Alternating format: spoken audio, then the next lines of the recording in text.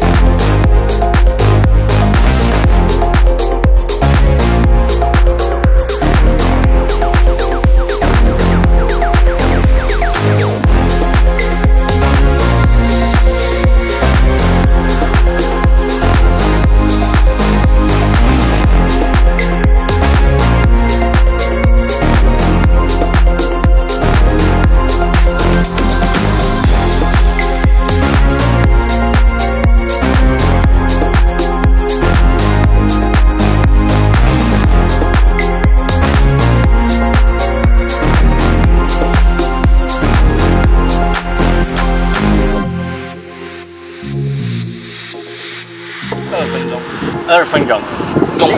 钟，哎，对对对，钟，二二分钟，两两分，两分。钟，分啊钟。啊对，two minute，呃二分钟，两分钟，两两分钟，两。两分钟，it's much more easier，两分钟，两。两分钟，两分钟。Okay, right now I'm at the last location of the filming, and this this is like a rooftop of a hotel. It's called Nantu Mingtu or something like that. I can't remember. but look at the view. Um, this is like the whole of Nanning. Look at that.